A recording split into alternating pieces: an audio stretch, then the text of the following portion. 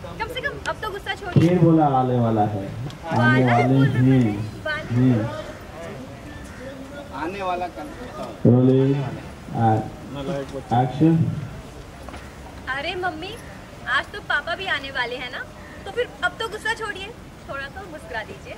आपको तो पता है ना क्या जी ने देखा बोले आने वाले हैं ना। आए तो नहीं अभी तक फ़ोन करके बोला था कि नहीं आएँगे। आज काम वाम ज़्यादा इस कारण से नहीं आएँगे। बोला हमारे साथ में हमारे साथ होली खेलने। अरे मतलब परिवार के साथ में? उनका समय ही नहीं परिवार के लिए। दीदी बोले अच्छा अच्छा। बोले अरे अनुज भैया तो ऐसे कहाँ चले गए? मतलब नाइंसाफी कर दिया आपके हाथ। हाँ हाँ बिल्कुल। और होली की गलती है। होली की क्या गलती है? इसके अंदर बताइए। तनुजा जी बोले, और नहीं तो क्या होली की क्या गलती है? गलती सब उनकी है। और जब चिल्लाने लग गई तब तक देखा हाथ आया और उन्होंने बोला अरे हमने बोला नहीं खेलेंगे। और देखा टर्न करके पापा आ गए। देखा वहाँ पे तनुजा जी बोले अरे अनुज जी आप? बोला हाँ। बोले आप तो नहीं आने वाले थे। बोले अरे कैसे नहीं आते?